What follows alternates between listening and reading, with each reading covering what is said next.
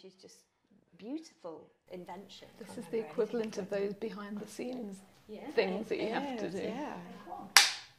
Hello, I'm Lizzie Hopley, and I work as well a one-time actress for Big Finish, and have now become a writer for Big Finish. I'm Lisa McMullin and I write for Big Finish and I've never acted. They probably wouldn't want me to either.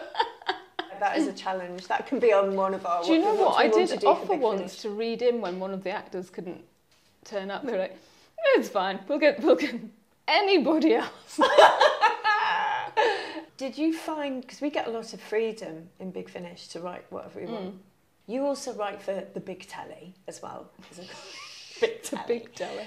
Did any of that prepare you for the process of telly? The process is the same in that you pitch ideas and stories and outlines, but the writing for visual medium is different because you are you can you can have things actually that people can see. The trick Mm. with audio, which switching between the two, I find quite tricky sometimes because sometimes I will overwrite for telly because I'm used to trying to create a visual impression in the the reader's Yeah, yeah. not the reader, the listener's Yeah. Mind. So your your stage directions for audio have to create a vision in the, Yeah. the listener's mind, whereas with telly you can actually say this is happening. You know, you can Yeah, have green yeah, yeah. monsters running over the hills.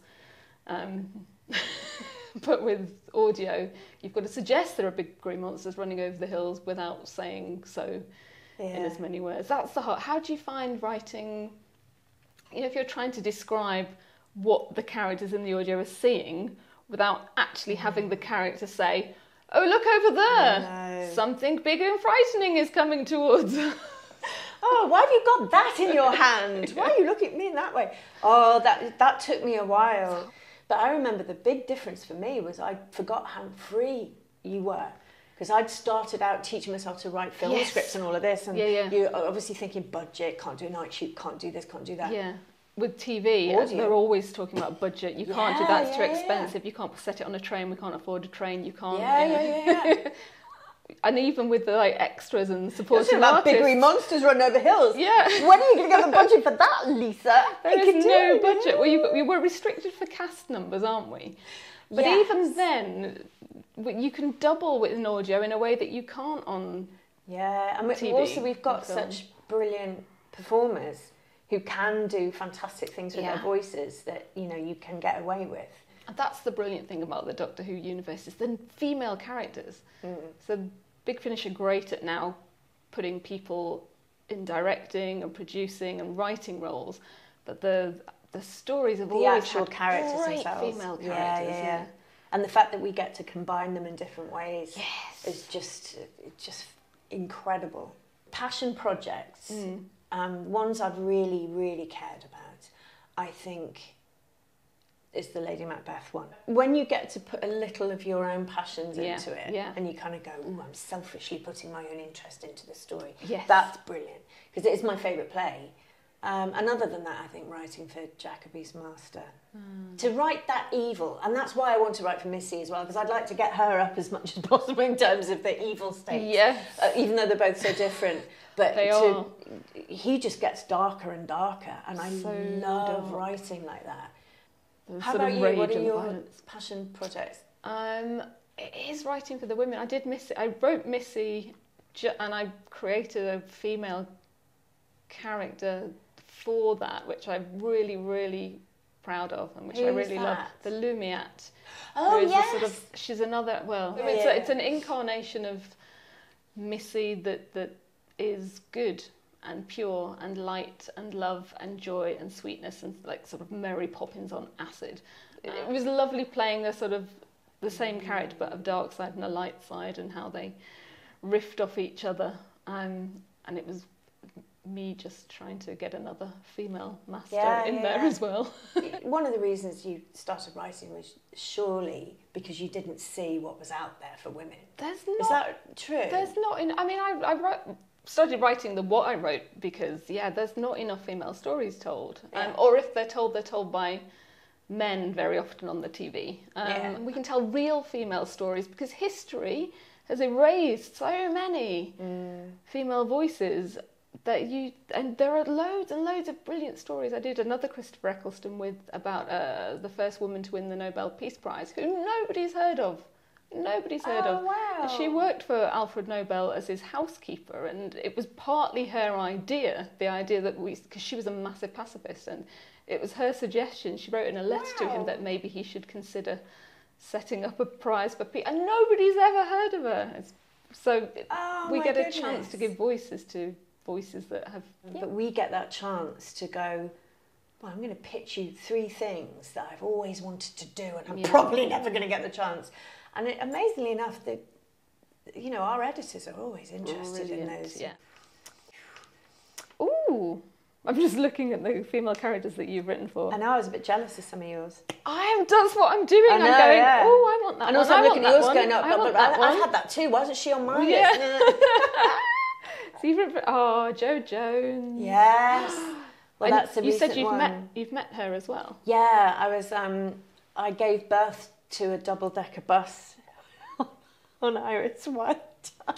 Right. I've been in a couple of Iris Wildthymes. Amazing. And I was, it was an absolute honour. But yeah, specifically recently, I've Yeah. written for, uh, am I allowed to say Third Doctor? Yeah. Well, it's written, it's on a piece released, of so paper. it's allowed I'm asked- to I've been asked to ask you about about writing for Jo, So there you go. Um, but that, I mean, she is one of my favourites, and I find her voice quite. I don't know.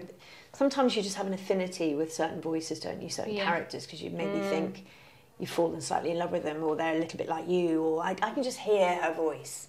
Um, so that that was a joy, and it was interesting then trying to get the difference between Jo Graham, Jo, Jo Yeah. Jones, and you know what that what subtlety might be. Like what? What? what Um, that she's a bit more independent, a bit more focused Okay. in her environmental pursuits and issues, and uh, um, perhaps is is giving, having an adventure as one more, having one more go with the Doctor is kind of like revisiting that. something. I love that. I know it's nice, isn't it? I'm reading this off a piece of paper. I've got a list of Lizzie's characters.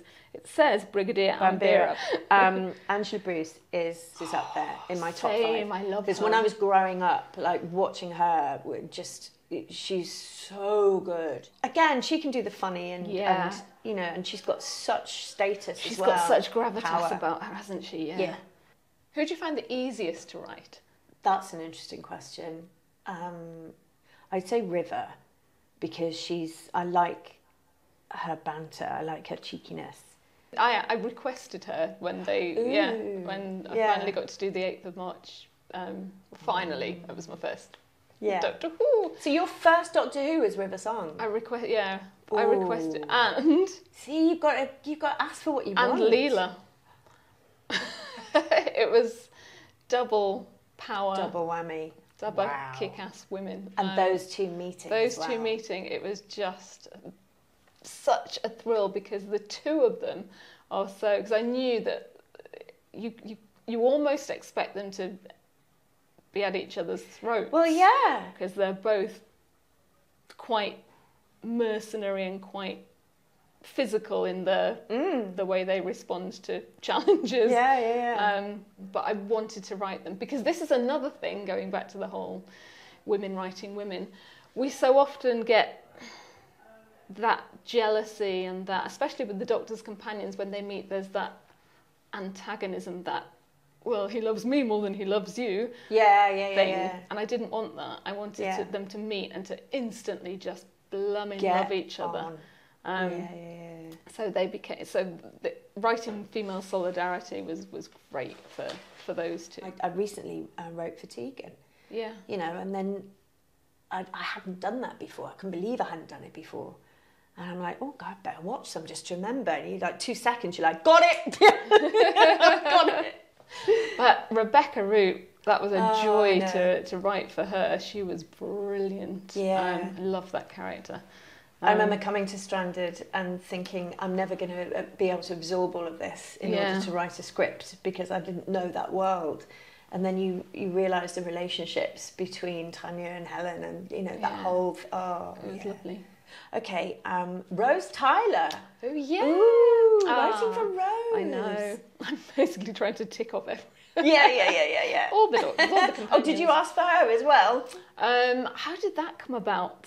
Mm, Was it Dimension Cannon? Remember, actually, that was uh, it was Dimension Cannon. Yeah. Yeah, Um, that was really good fun. And again, this is what Big Finish do. They take these the companions and give them their own series, so that yeah, you've yeah, got yeah.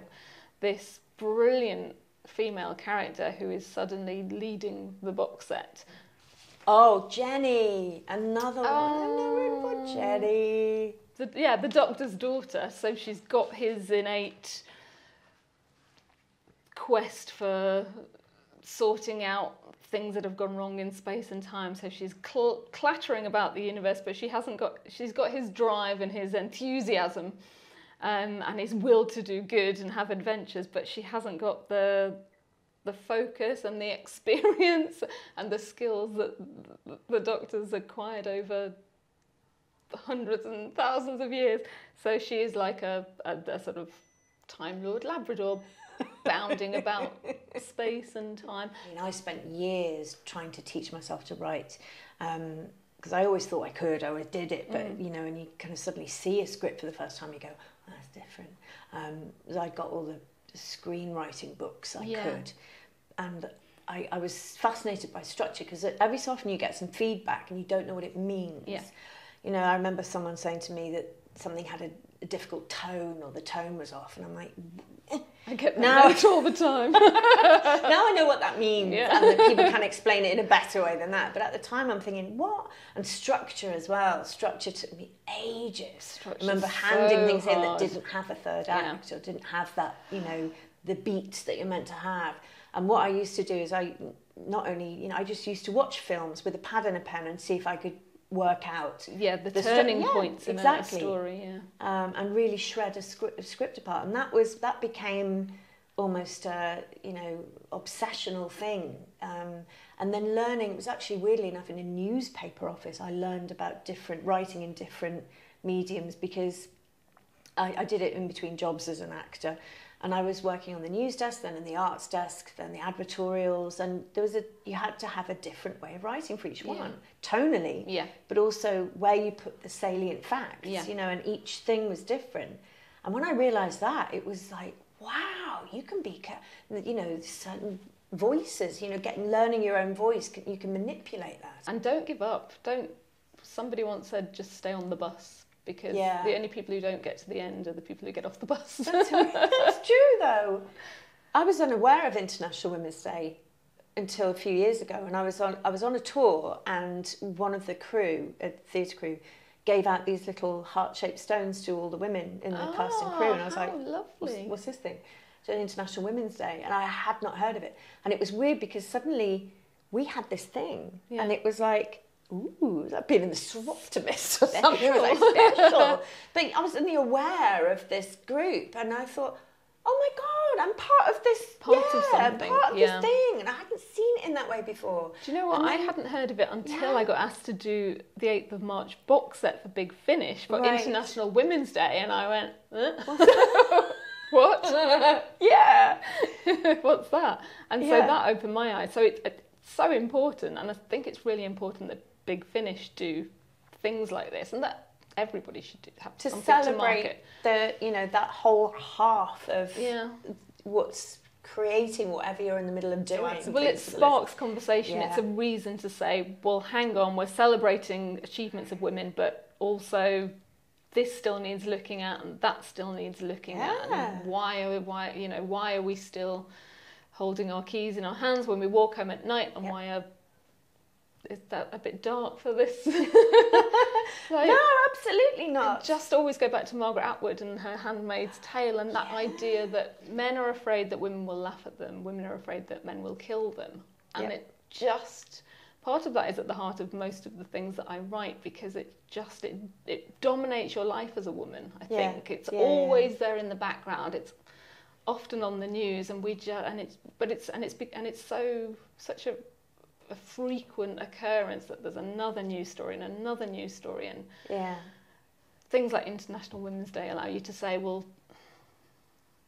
what are Uh, we doing? Can we do something? Yeah, yeah, yeah. Sorry, that's It's a funny. turn.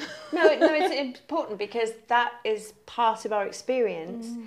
But it, we don't want it to define us. we don't us. want it to define us. so we- it's it's difficult then when you look at the stories that are told about women, especially on, on telly, okay, telly and film, and yet again you see another woman going through these horrendous Yeah. things, and another story that starts off or a series that starts off in a horrendous way, and you go, well, yeah, you know that this is still our experience, but can we can we not be Can we not just tell that? the stories And- of um, women as, as victims? Can we tell all the other stories that, yeah, that exactly, are out there? and while still addressing that problem Yeah. in Which is why I think if you're gonna if you're gonna tell that story, we need to see more of It that story told from a female yeah, point yeah. of view. I still think w- women are still seen as a as a thing. They know, think we are a women- genre. a- Yeah. we're a genre, Yeah. and that was something that that was there for me at universities and was Mm. inspired to write my own roles, is because I couldn't find a female protagonist that was just a protagonist, like the everyman, Yeah. every woman. She always had to be the, the mother or the Mm. girlfriend or the appendage or the you know the she, she was there because of her sexuality or something. The- What that bugs me as well, the amount of female stories that are really very specifically Written female stories that are, that are, but they're written by men. Mm. So a, we want more stories that are not just that are women, char- female characters that are not that just happen to be. But also, Yeah. if you're going to tell a specifically female story, allow a woman to tell it. it's not, you know. So yeah, well, female writers that came before are massively inspirational. Mary Shelley, ugh, founder of science Ah, fiction in, in yeah. I mean, she was yeah, she's a big inspiration. That that that brain to have come up with that story. Yes, yeah, yeah, yeah. Um, and and light years ahead of its time. I mean, yeah, and uh, and in those circumstances where women had, you know, there was no chance. You had to pretend to be a bloke most of the time in order to get a book published. Yeah, if you yeah, think it like the. Bronte, I love the Bronte sisters as well. Um, love them. Love that they did that. They were like, right, we'll just we'll just change our names. Let's give ourselves sort of gender neutral Yeah, yeah, names, and uh, lo and behold, oh Yeah, Published. what we did. yeah. Um, Give ourselves a chance. so yeah, you Well, it's, lovely you mentioned, you know, the historical names. I hadn't really thought down that route. I think, um, that, I mean, obviously I had acting heroines, really. And weirdly enough, the first, when I was a, a kid, the first person I really associated with was Glenda Jackson. she played Elizabeth I on She's telly when I was growing up. Glenda Jackson. And then I remember, like, I remember seeing her Elizabeth with you know that Yeah. forehead, and you know, and, and it was extraordinary. And again, she was playing a really strong protagonist. saw her do was- King Lear a few I years saw her ago. King Wasn't Lear. she good? Yeah, I saw her King Lear. Yeah. and I wet myself with excitement. Yeah. But then after seeing that, to seeing her on um, Morecambe and Wise, Yeah. that was massive for me because you could see someone who was terrifying and yet funny. And that's something I wanted to ask you about as well. You know, talking about inspiring women, you are also inspiring to me because you're a contemporary, so hurrah yeah. for you. But you, you kind of go down that line a lot of um, comedy and dark. You're very witty, and yet you can tell a dark or dramatic story I find it at the same time. Well, yeah, you say that, but I don't believe that, and I find I find that's something I really struggle with is trying to not over comedy everything. I just can't help myself. Somebody dies, and then somebody slips on a banana skin. But then that's your voice, maybe. It is my voice, but I railed against it for so long because Yeah. I was in no- I was talking about t- notes on tone. I get that all the time. Um, right. We're struggling with the tone of this because it seems to be very dark, but there's a lot of humour in there. I'm like, mm but that's the stuff I like to. Your, to be fair, your writing is is Well, quite I like love. that I always well. have, and I get attracted to that Yeah, kind of thing. me too. But yeah. I think to manage to do that properly is a skill. To tread that blend fine tones line like that. I think that's yeah, and my favourite actors do that as well. My favourite comedians do that. Yes.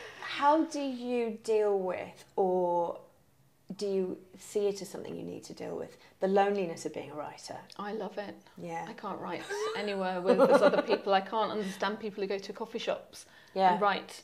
Like the, with all that, I mean, it's again, it's the focus Yeah, and the yeah, distraction. The slightest, if there's anybody else in the house, I can't, I can't focus. I mean, I during lockdown, I was locked down with my parents for a year, and so I had to, had to write Right, with yeah. other people. But I found it incredibly difficult, and that was very hard for my mental health because I had to write, but also, but I find it really just take a dark yeah. turn. But I really struggle to write if there's anybody else around. I need to be alone.